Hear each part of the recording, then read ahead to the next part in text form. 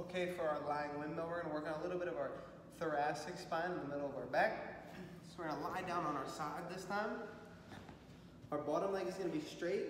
Our top leg is gonna be bent at 90 degrees at both the hip and the knee. So bring that hip up 90 degrees here at the hip and at the knee. Hands are gonna be right out in front of you, arms are stretched out. We're gonna take this top hand, we're gonna loop up and over our head, trying to take our top shoulder to the floor behind us. So we're taking this hand, looping up like we're making a rainbow motion, trying to get that shoulder flat to the ground. Nice deep breaths, and then return to the starting position. This knee that's bent to 90 is gonna wanna raise up toward the ceiling.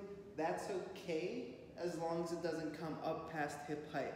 If you find that your knee's coming up way up here towards the ceiling, you might wanna kind of force it down a little bit. So keep that knee down, no higher than hip height. Bring that top hand over. Try to get the shoulder flat to the floor.